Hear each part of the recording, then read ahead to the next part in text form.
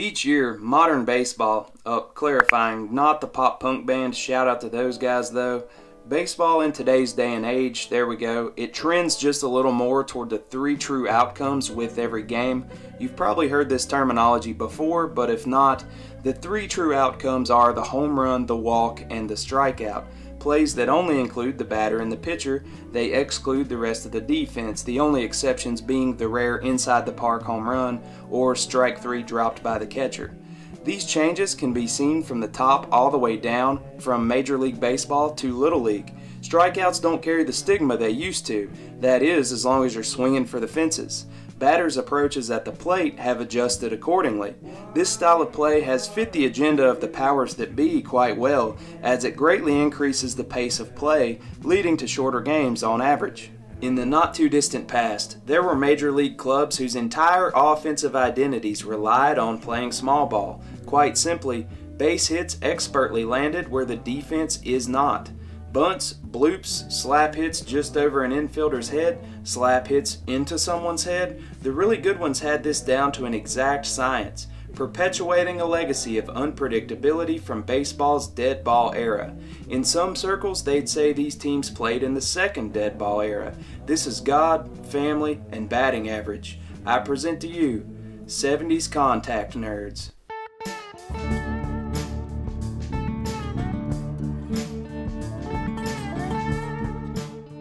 Before we get rolling, if you would, please like and subscribe. Help break down the outfield walls that stand between small ball creators like me and a good audience. This is the first video in my Archetypes series where we deep dive into player comparisons from the past.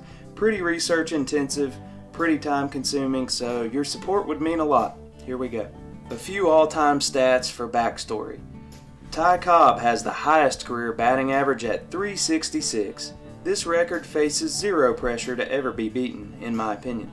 Ted Williams slots in at number 6 on this list with an impressive 344 batting average. The only contemporary contact merchant who even appears on this list of all-time averages is Tony Gwynn, who slots in at number 17 with a 338 average. You know, I call him contemporary, but let's say the only one who's played in my lifetime.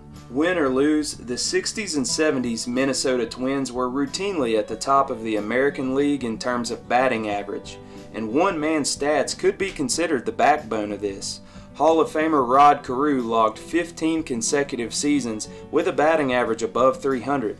He batted 388 in 1977 and was the first to do so since Ted Williams' famed 1957 season. His fluid batting stance perfectly facilitated getting his hands to the ball regardless of where it came through the zone. His hands started low, minimizing the movement needed to make contact. I don't believe there's any existing film of a pitcher ever catching him off balance. It's really a thing of beauty. Power was an afterthought to Carew. He has the 27th most hits of all time, but he also spent six years in the Marines. Just imagine if he had piled those seasons on. Carew is still the standard by which dedicated contact hitters are measured. Lyman Bostock, a young phenom who Carew took under his wing, was possibly the greatest contact hitter who never reached his full potential. I love his 1976 line 474 at bats, 323 batting average, 4 homers. He was traded from the Twins to the Angels in 1978 on one of the biggest contracts of his time. He struggled a bit there, notably offering to give back part of his salary until his hitting improved. He finally picked it up, but tragedy struck that year as he was shot and killed as a passenger of a vehicle in his hometown of Gary, Indiana. His shooter, Leonard Smith, was sentenced to a psychiatric hospital and released after seven months, guilty but mentally ill.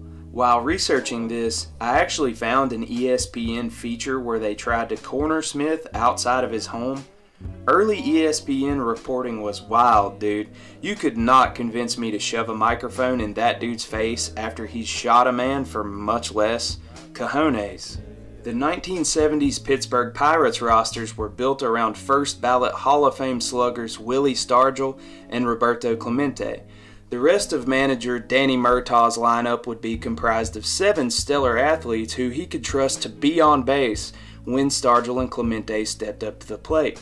Ethnicity did not factor into Murtaugh's lineup theory, as unbeknownst to himself, he set the first all minority lineup in 1971, and when asked about it, he replied, I put the best nine athletes out there. The best nine I put out there tonight happened to be black, no big deal. Next question. The world would be stunned at the loss of Roberto Clemente, who died in a plane crash in December of 1972 while accompanying a shipment of relief supplies in response to an earthquake in Nicaragua, one of the greatest philanthropists baseball has ever seen. Power hitting right fielder Dave Parker would fill in the following season. Statistically, he was about as close as you could get to Clemente's effectiveness, but what about the rest of the lineup? You know, the guys setting the table? Playing a brand of baseball is synonymous with Three Rivers Stadium as the pillbox ball cap. Let's start with longtime Pirates second baseman Rennie Stennett. Stennett was actually from the same hometown as Rod Carew. Missed opportunity, I should have called this video 6 degrees of separation from Rod Carew. Maybe next time. His approach at the plate was similar, though Stennett was a little more aggressive, a first pitch swinger. He batted leadoff for most of his years in Pittsburgh, Stennett is one of only two players to record seven hits in one nine inning game. His came in a 22 0 absolute demolition of the Cubs.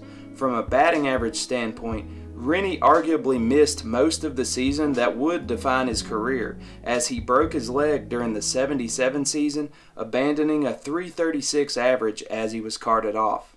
Often batting second in the lineup, also a native of Panama, also a contact hitting legend, Manny Sanguillen. Manny has a lifetime batting average of 296, which is good enough for the fourth highest average by a catcher since World War II. He's referred to as the ultimate bad ball hitter. Very frustrating to pitch to, as he could turn a ball in the dirt into a base hit. He was instrumental in the Pirates' 1971 World Series season, as this was his best statistical season, batting 319 with 81 RBIs. Anyone who's ever played baseball at any level has at some point been told to choke up on the bat. This simply means adjusting your hands closer to the barrel, which is known to increase the chance of contact. Tim Foli took this more literally than anyone who's ever played baseball. There were times his right thumb was just a hair off the Louisville Slugger logo. Because of the likelihood of getting hit on the hands batting like this, he also wore big leather farmer's gloves. Top it off with his thick glasses, and you have a dude looking so uncool that it's actually cool. Foli batted 333 in the 79 postseason. He hit for the cycle while with the Expos in 76. Considering he averaged less than two home runs per season, this is one of the most unlikely cycles of all time.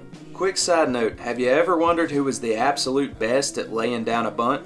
Percentage wise, that distinction belongs to Lee Mazzilli, who primarily played for the Mets. He reached base 35 times on 40 career bunt attempts, good for 87.5%. Couldn't find any footage of his masterful bunts, so here's him pissing off the mad Hungarian instead. Hmm, it feels like I'm leaving a team out. A team that manufactured runs so well that it felt inhuman, just churning out runs like a well oiled machine. Perhaps it was big and red, Ah, man, apologies, that was lame. Anyway, the Cincinnati Reds, aka the Big Red Machine of the 70s, were led by Pete Rose, and three Hall of Famers, Johnny Bench, Tony Perez, and Joe Morgan. Yep, that's TV Joe Morgan. This group was known as the Core Four. They were supported by Dave Concepcion, George Foster, Ken Griffey Sr., and Cesar Geronimo. This collective was known as the Great Eight, you know you're good when different sections of your lineup have different nicknames. Every member of the 8 and the 4 were characterized by excellent contact hitting with the exception of Bench and Foster, whose playing style revolved around hitting dingers. If you're putting together a list of top 10 all-time hitting teams, I could make the argument for at least three 70s Reds teams on that list. Pete Rose put together a 44 game hitting streak during this time, as well as 4,192 hits. That puts his name at the very top of the record books. Nothing about Pete Rose's game was necessarily pretty. His swing wasn't pretty, but it was effective. The longer his career went on, the more he hunched over, shrinking the strike zone and maximizing his leverage as he uncoiled. Him bowling over defenders wasn't very pretty either. Super effective. I could just sit and watch him play baseball for hours, and I know I'm not alone in that. The dude made a living just giving more of a shit than the opposition did, and that's canon. Almost every hitting technician on this list went on to become a coach. In fact, even my three honorable mentions here Joe Torre, Don Mattingly, and Dusty Baker are not only coaches, but some of the most beloved major league managers in history, and that seems a lot cooler than just dropping their stat lines. Well, I'm wrapping this up, but hey, life's short. Aggravate the other team. Wear out of place gloves. Lose your helmet and look like you still have a helmet on. Hit for average. Take it easy.